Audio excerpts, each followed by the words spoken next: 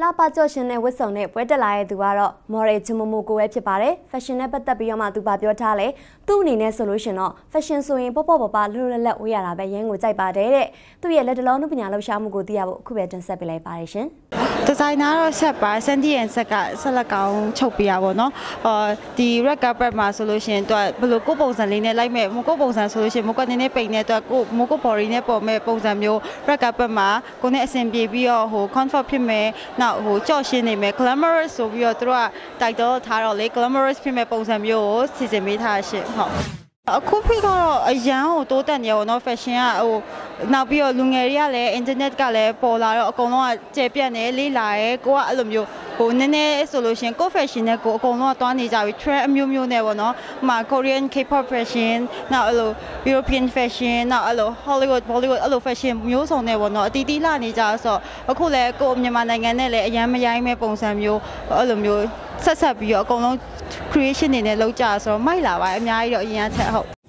အာ casual wear ကိုမှအလိုနည်းနည်း comfort ဖြစ်ပြီးတော့ကို flexible ဖြစ်မဲ့ပုံစံမျိုးပေါ့နည်းနည်းဟော jean နဲ့ shirt နဲ့အဲ့လိုမျိုးကိုတတောင့်တတရှိစေမဲ့ဟာမျိုးကိုကြိုက်တယ်လှနေရမျိုးရတခါတလေပဲတော့တကယ်ဝတ်မယ်ကြောက်တတောင့်တတကိုကိုသဘောကျရဟုတ်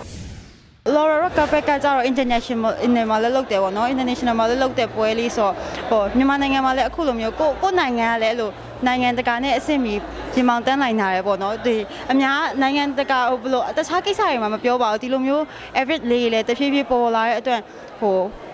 ကုံရယ်ပျော်ရယ်ပေါ့နော်နောက်ပိုင်းလည်းအများကြီးပေါ်ထွန်းလာမယ်ဆိုရင်တော့ပိုကောင်းတာပေါ့ဟုတ်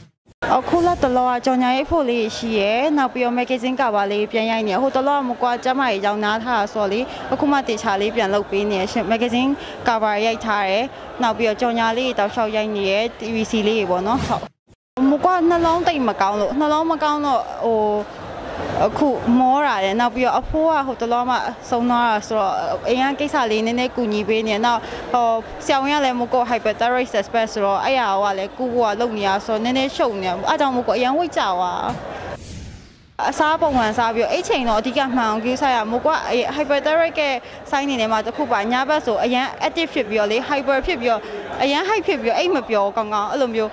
အရန်လက်တွက်တယ်အဲ့လိုလူက energy တုံးတာများတယ်ဗောနော်အဲ့ဒါကြီးဆိုကိုကအစားစားရတယ်နောက်အိတ်ချိန်ကိုပုံမှန်လေးဖြောင်းအိတ်ပေးရတယ်နောက် meditation လုပ်တယ်ပို့ကော